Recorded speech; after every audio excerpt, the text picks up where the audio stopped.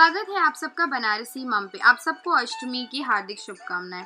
आज का दिन खास होता है तो इसलिए आइए, बनाते हैं व्रत में खाने वाली थाली। आज मैं सिंघाड़े के आटे का हलवा बनाऊँगी। उसमें शक्कर पड़ेगा, घी और पानी। जितना सिंघाड़ा काटा, उतना ही घी पड़ेगा। और शक्कर अपने स्वादानुसार डालिए। ठीक?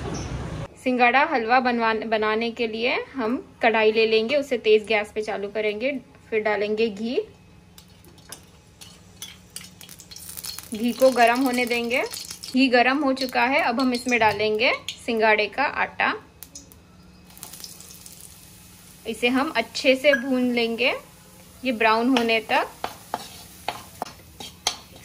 कितना मिनट लगता है मम्मी इसको भूजने के लिए? आधा मिनट। अच्छा तो इसको आधा से दो मिनट तक भूज लीजिए। फिर दिखाते हैं कैसे ब्राउन दिखेगा। ये देखिए, हो गया है ब्राउन। अभी हम इसमें डालेंगे शक्कर। इसे अच्छे से चला लीजिए। अभी हम इसमें डालेंगे पानी। धीरे धीरे पानी डालिए। कितना पानी डालेगा मम्मी इसमें? हाफ़ ग्लास पानी। तो जितना आटा होता है उतना पानी डलता है? हाँ। अभी रेडी है। अभी ये रेडी हो गया है हलवा। एकदम क्विक और इजी हलवा है। अभी हम इसे प्लेट में डाल के इसकी बर्फ़ी बनाएँगे दिखाते हैं कैसे। देखिए सिंगाड़े का हलवा हो गया है। अभी हमने इसे प्लेट में फैला दिया है।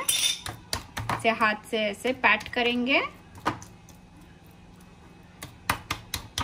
और फिर इसकी बर्फ़ी बनाएँगे।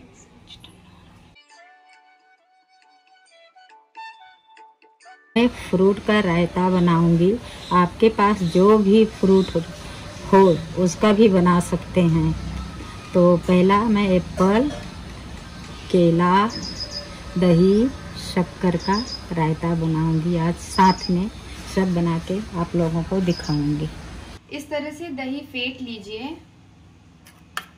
इस तरह से फेंटिए दही एंड उस पर थोड़ी सी शक्कर डाल सकते हैं स्वाद अनुसार। यदि आपको डायबिटिक हो तो नेचुरल फ्रूट्स हम डाल रहे हैं तो नेचुरल टेस्ट होता है उसका अपना। फिर से वापस से मिक्स कर लीजिए एक बार। एंड उसके बाद देखिए इस तरह से हमने काट रखी है एप्पल और बनाना को, वो डाल दीजिए इसमें।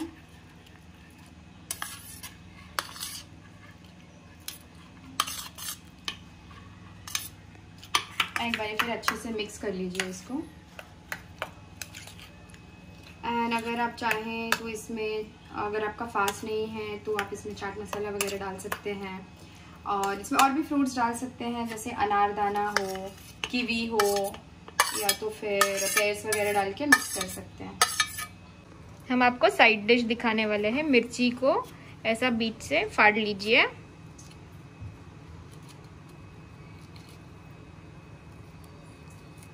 इस तरह से भरेंगे इमली, भुना हुआ जीरा, नमक का पेस्ट इमली का प्यूरे ले लिया है, भुना हुआ जीरा और नमक को मिक्स करके इसमें हम भर रहे हैं और फिर ये मिर्ची को हम शैलो फ्राई करेंगे, दिखाते हैं कैसे. हमने यहाँ पे सारी मिर्ची भर ली है. अभी हम तावा गरम करेंगे, उस पर तेल डालेंगे और फिर इसको शैलो फ्राई करेंगे, दिखाते हैं कैसे. अभी हम ये तेल गरम हो चुका है, इसमें डालेंगे मिर्ची।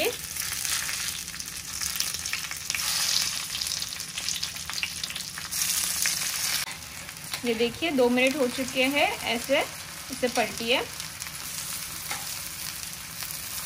पक रही है मिर्ची अच्छे से।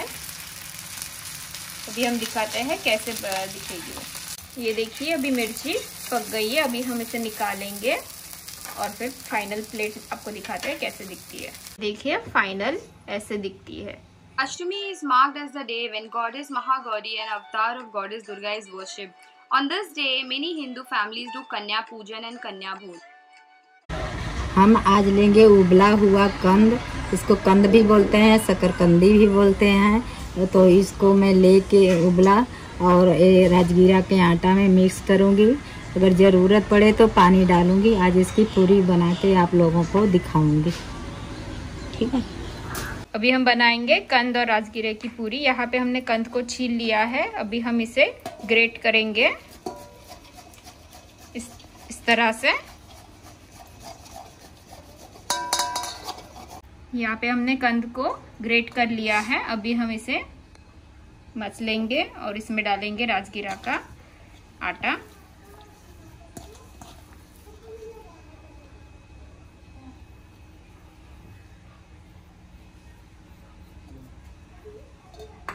राजगिरे का आटा डाल के हम इसे अच्छे से मिक्स कर लेंगे। ये देखिए, आटा रेडी हो गया है। अब साइड में थोड़ा राजगिरा आटा ले लीजिए। अभी हम आपको दिखाते हैं कैसे बेलेंगे हम पूरी। थोड़ा सा आटा ले लीजिए।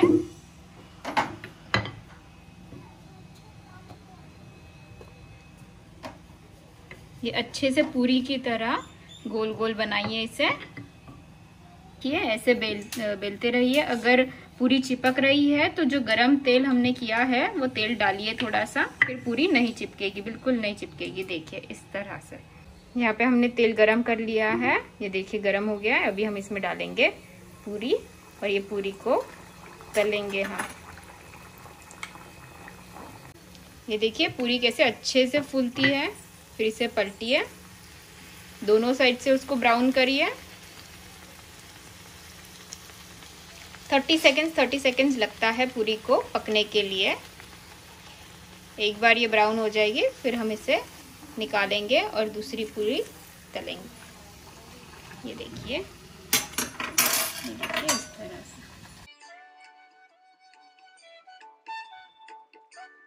आज मैं उपवास की सब्ज़ी बना रही हूँ पूरी के साथ खाने के लिए। उबला हुआ दो आलू लिया है, दो मिर्ची है, सेंधा नमक है, तड़के के लिए जीरा है, हरी धनिया पत्ती है, इसकी सब्ज़ी बनाएँगे और आप लोग देखिए इस ग्रेवियन। हम एक कढ़ाई ले लेंगे उस पे उसमें डालेंगे तेल। मीडियम से तेज़ आँच पे। तेल गरम हो जाएगा। फिर उसमें हम डालेंगे जीरा। तेल गरम हो चुका है अभी हम इसमें डालेंगे जीरा। इसमें डालेंगे दो मिर्च, दो मिर्ची।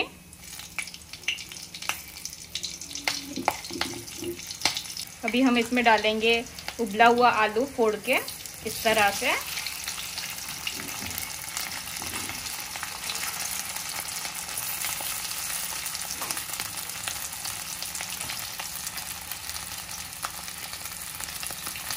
इसे अच्छे से चला के हम अभी इसमें डालेंगे नमक।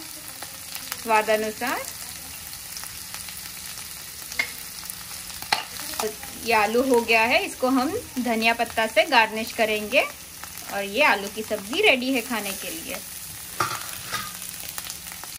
होप आप सबको हमारी रेसिपी अच्छी लगी। Do try and share your experience with us in the comment section देखते रहिए हमारे videos do like and subscribe Banarasi mum by clicking on the bell icon thank you bye